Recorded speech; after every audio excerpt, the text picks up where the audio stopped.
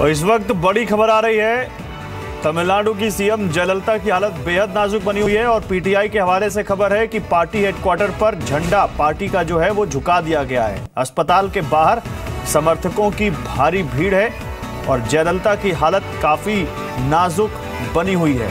भारी पुलिस बल इस वक्त आप देख सकते हैं, तस्वीरों में अस्पताल के बाहर तैनात किया गया है और जयललिता की हालत बेहद नाजुक बताई जा रही है। लेकिन पीटीआई के हवाले से खबर है कि एआईएडीएम के हेडक्वार्टर पर पार्टी का जो ऑफिशियल फ्लैग है, उसको झुका दिया गया है। अस्पताल के बाहर लोगों की काफ़ी भीड़ है जया ललिता समर्थकों की काफ़ी भीड़ है और पीटीआई के हवाले से खबर तो ये भी है कि वहाँ तोड़फोड़ भी हुई है अस्पताल में, लेकिन अस्पताल के बाहर समर्थकों की भारी भीड़ देखने को मिल रही है और सुरक्षा हालात लॉ एंड ऑर्डर को देखते हुए व्यवस्था कानून व्यवस्था ना बिगड़े इसको देखते हुए अस्पताल के बाहर पुलिस की तैनाती देखने की गई है भारी संख्या में। पुलिस के करीब पाँच हज़ार जवान वहाँ पर तैनात हैं अपोलो हॉस्पिटल के बाहर जहाँ पर इस वक्त जयललिता हैं एडमिट और उनकी हालत काफ़ी नाजुक बनी हुई है। तस्वीरें हम आपको सीधे दिखा रहे हैं। इस वक्त उसी अस्पत, अपोलो अस्पताल के बाहर से जहाँ पर जयललिता एडमिट हैं और उनकी हालत काफ़ी नाजुक बनी हुई है।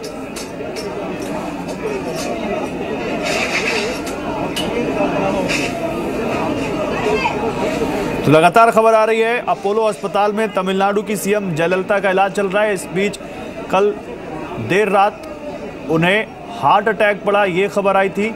उन्हें लाइफ सपोर्ट सिस्टम पर रखा गया है। हालत नाजुक बनी हुई है।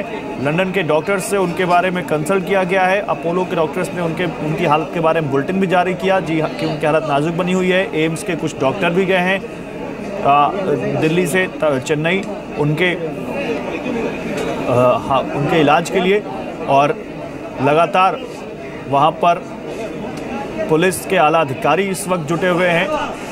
पुलिस के जवानों की भारी तैनाती की गई है। एआईडीएमके के सभी सांसदों को दिल्ली से बुला लिया गया, चेन्नई वापस। पार्टी हेडक्वार्टर पर पार्टी का झंडा झुका दिया गया है। और कुछ ही देर में अगले कुछ मिनट्स में हो सकता है अपोलो अस्पताल की तरफ़ से कोई मेडिकल बुलेटिन जारी हो जयललिता की हालत को लेकर। तस्वीरें देख सकते हैं, लोग वहाँ पर थोड़े से हिंसक हो गए, थोड़े थोड़े से गुस्सा में हो गए और वहाँ पर आप देख सकते हैं, पुलिस ने उनको कंट्रोल करने की कोशिश की है, लेकिन जया समर्थकों का हुजूम इस वक्त अस्पताल के बाहर लगा हुआ है।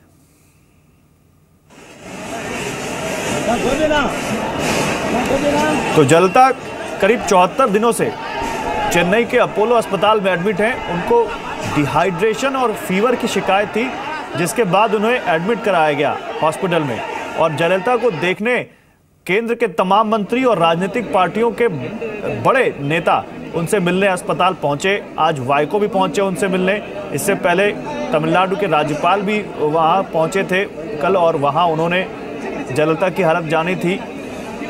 केंद्र से लगातार केंद्रीय स्वास्थ्य मंत्री जेपी नड्डा जयललिता की हालत के बारे में जानकारी ले रहे हैं। उन्होंने प्रधानमंत्री नरेंद्र मोदी को उनकी हालत की जानकारी दी और प्रधानमंत्री ने उनकी सेहत जल्द अच्छी होने के लिए एक ट्वीट भी किया और कामना की कि जल्दी से वो वापस आए।